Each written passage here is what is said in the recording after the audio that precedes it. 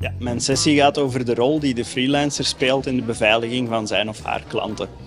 En de activiteiten die ze daarin kunnen doen om hun klanten zo goed mogelijk te beschermen en om ervoor te zorgen dat zij geen bron van uh, potentiële inbreuken zijn. Het zijn een aantal zeer praktische tips. Dus het maken van backups, zorgen voor een goede anti-malware oplossing, zorgen voor multifactor authenticatie op accounts van hun klanten. En dit eigenlijk om hun klanten ook te beschermen om mogelijk doelwit te worden van hackers. Dus uh, het eerste is het activeren van multifactor authenticatie op accounts. Ik denk dat dat uh, veruit het belangrijkste is. Uh, we hebben ook gezien in een aantal incidenten over de jaren heen dat dat veruit een van de belangrijkste beschermingsmaatregelen is. verder een goede digitale hygiëne. Dus als je iets niet nodig hebt, opnieuw te gaan verwijderen. Um, en het zorgen voor een goede anti-malware oplossing op je digitale assets zoals smartphones en computers.